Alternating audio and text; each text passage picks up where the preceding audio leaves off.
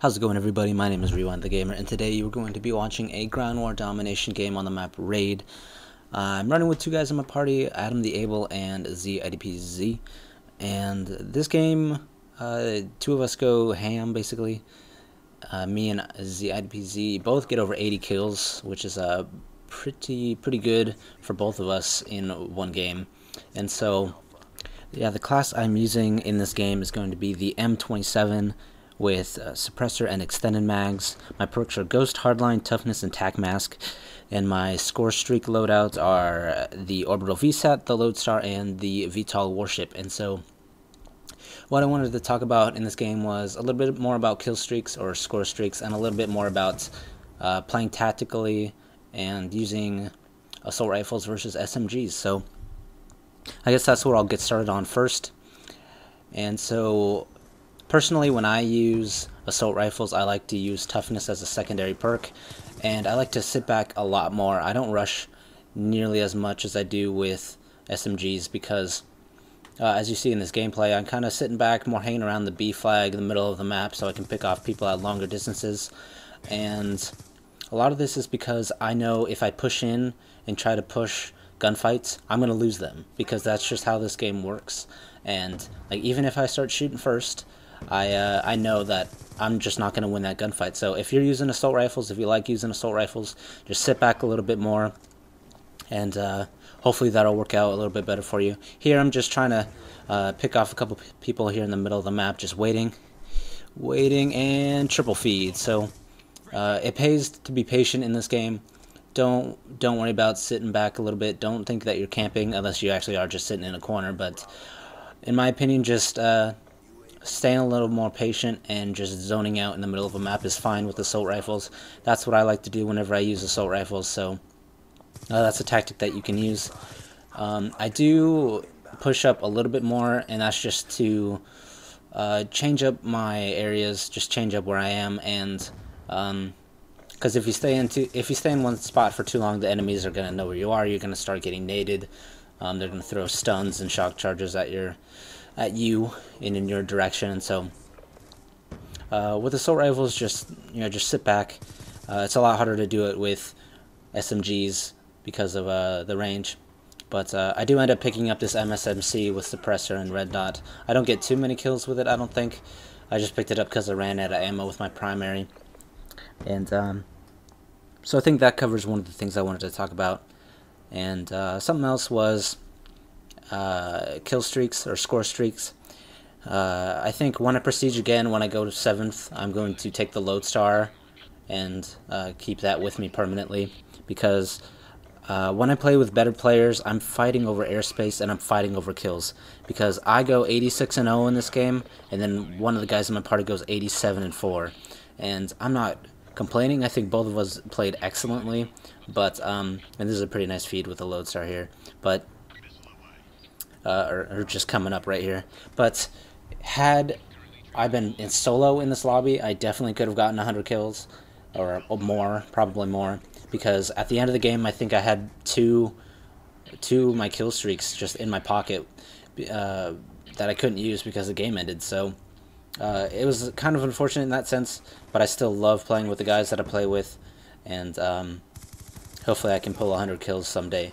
It shouldn't take too long, especially as I level up more, unlock the higher kill streaks, because the Swarm goes goes ham in this game. I know I said that already, but the load the Lodestar does too, which uh, you actually unlock at level 12.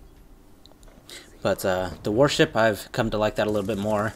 I just hadn't been hadn't been using it very much in the in the early stages of the game. Well, I guess it still is really an, an early stage of Black Ops 2, but um, yeah, just been been enjoying both of these kill streaks, the Lodestar and the the VTOL warship.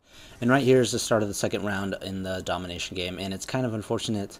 Uh, me and someone else in my party, uh, he calls in his Lodestar at the same time I call in my warship, so uh, we were kind of fighting over kills in the air, which was uh, you know, not the greatest, but uh, I think we shared them pretty evenly. He gets like a quad feed, I follow up with a quad feed, so, I mean, we weren't, we, we were stealing each other's kills, but I think it worked out better than it could have. Um, a, a, little bit later in the gameplay, I wait for him to call in his other lodestar, and then I put up my warship. Um, and if I, I think if I put mine up at the same time that he used his lodestar a second time, so we were like fighting over kills in the air twice, I think I could have gotten more kills because at the end of the game, I still had like a, a lodestar and a warship in my pocket, so I probably could have hit over 90 kills in this game, but uh, I'm not going to complain too much. 86 and 0 was not bad, so... Uh, yeah, and a little bit more about score streaks. Um, you're pretty much set once you get the first VSAT. You, you, you can't really go wrong unless you died to like an equipment you don't see or something.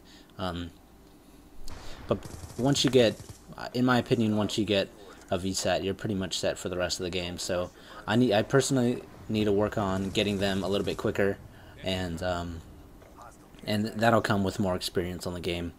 But uh, here I put up another lodestar, and right about here in the game is where I was thinking that this is going to be a good game because I um, I think this is one of the first where I just get like my score streaks back to back, and they pretty much um, one score streak pretty much resets to uh, start up my next set of score streaks. So uh, I think I had 35 kills at the end of the first round, and so the second half was definitely a lot better just because I had so many score streaks to use.